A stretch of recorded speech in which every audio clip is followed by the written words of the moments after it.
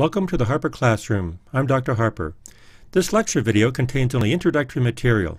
More detailed information will be contained in my project management course and other instructional videos in the Harper Classroom. This video is Project Management Introduction to PMBOK 2, Project Time, Cost, Quality, Risk, and Procurement Management. This video is based on material from a Guide to the Project Management Body of Knowledge, PMBOK Guide, 5th edition, published in 2013 by the Project Management Institute.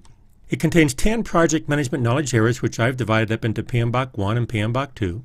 And PMBOK 1 is the qualitative aspects of project management, and PMBOK 2 is a technical approach to project management. This video will cover these five knowledge areas in the quantitative approach to project management. If you recall in a previous video, the interrelationship between knowledge areas, process groups, and management processes are given in this table, where the knowledge areas covered in this video are highlighted. You'll also recall that in project management, all this information is not used in every project, only what is appropriate for the project, project manager, and project team. In this video, I will uh, identify only a portion of each of these knowledge areas that I consider important for a course in project management relative to a student and a working professional. Let's start with project time management. Project time management involves defining and controlling the time aspects of the project. There are seven major processes. This video will cover processes 2 through 7. Let's look at define activities. Define activities determines all the activities of a project. The work breakdown structure is decomposed into its different elements to identify the activity list for management. Next is sequence the activities. Often the activities in the activity list have relationships that some activities have to be done before others or some have to be done after others. Once that's determined, you have a project network. Two primary forms of a project network is the arrow diagramming method, or activity on arrow, where activities are on the arrows and the nodes indicate the predecessor relationships. The next is the precedent diagramming method, or activity on node, where the nodes are the activities and the arrows indicate the precedent relationships. Next, we estimate activity resource. There are three hierarchical breakdown structures for the project planning. First, the work breakdown structure. This defines the work activities, and that's the product view. Resource breakdown structure defines the resources, that's the functional view. And then the OBS, the organizational breakdown structure, coordinates the work and resources with the organizational structure, and that's referred to as the organizational view. The next major process is estimate activity durations, obtain the amount of work needed for each activity. So from the activity list, we go through an estimation process to determine the actual time or the duration for each activity. The next major process is develop schedule, determine the time parameters of each activity.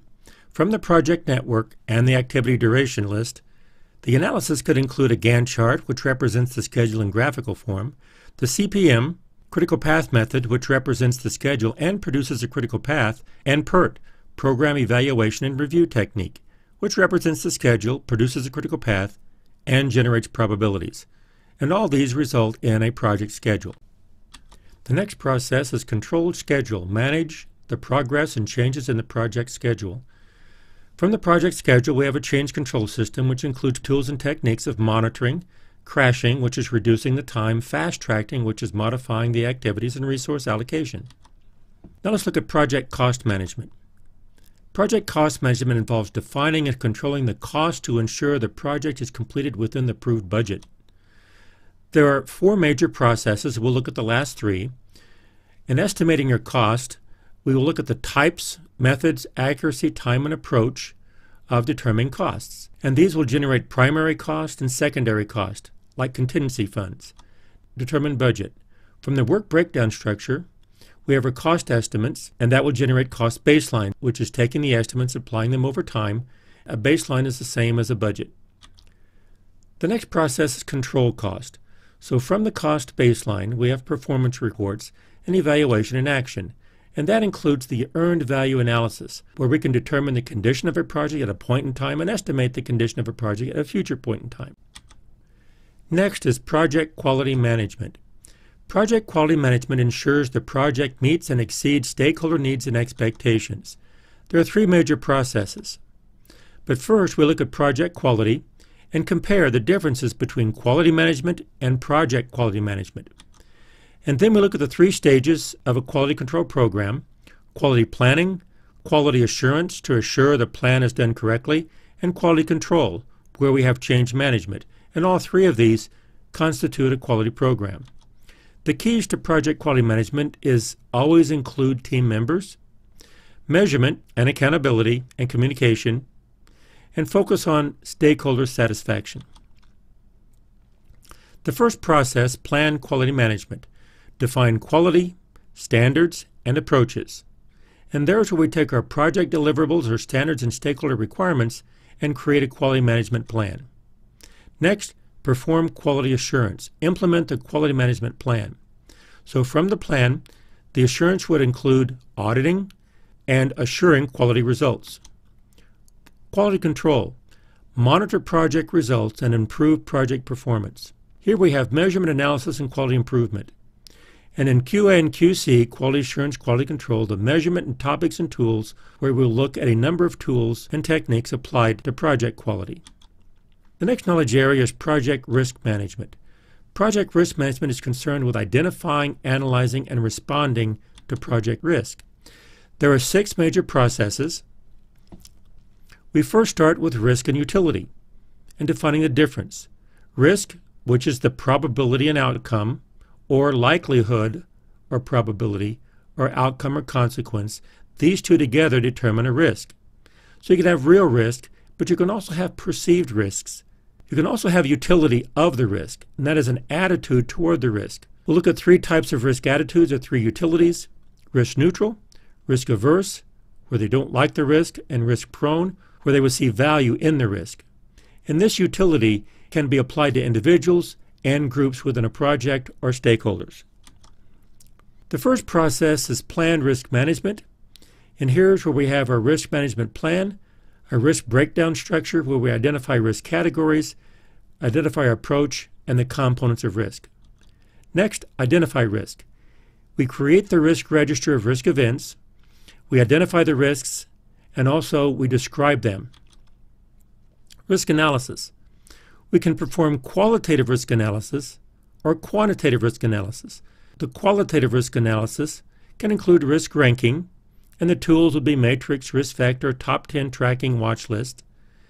And the quantitative risk analysis is risk evaluation. And here's where we have stochastic utility analysis, decision analysis techniques, PERT and CPM analysis, where we have the probabilities within PERT, and the critical path method, or simulation. In plan risk responses, we consider risks with positive and negative consequences, and the risk will be different depending on the consequences. We also include additional risks like secondary risks and additional plans like contingency plans. Control risks conduct risk audits and reviews to make sure that the risk plan that's in place is effective. This process also analyzes triggers, which are events, and trends, which are sequence of events, or patterns, which is environmental. Next is project procurement management. Project procurement management is concerned with the identification and acquisition of goods and services from outside sources. There are four major processes. First, we discuss procurement and different terms outsourcing, subcontracting, purchasing, buying, third party sourcing. The first process is planned procurement management. The procurement management plan could contain a make-buy analysis, consider different kind of contracts, which would contain statement of work, a request for proposal, the mechanics on how to solicit the work to be done.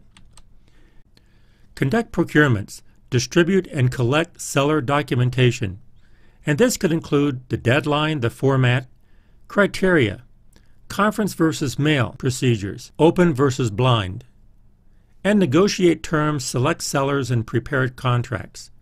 In selecting the sellers, we will look at the criteria, the measures, the scales, and different procedures of evaluating and selecting vendors to award a contract. Close procurements, a formal closeout where we verify and communicate completed obligations and post evaluations, identify the scope and quality of the results. And finally, lessons learned. This lecture video has been an introductory overview of the quantitative PMBOK 2 of these five knowledge areas. Another video, which is also an introductory overview of the qualitative PMBOK 1 of these five knowledge areas, completes the 10 project management knowledge areas. Then we can go into more depth. With this ends the lecture video on Project Management Introduction to PMBOK 2, Project Time, Cost, Quality, Risk, Procurement Management. I hope this helps. Thanks for watching.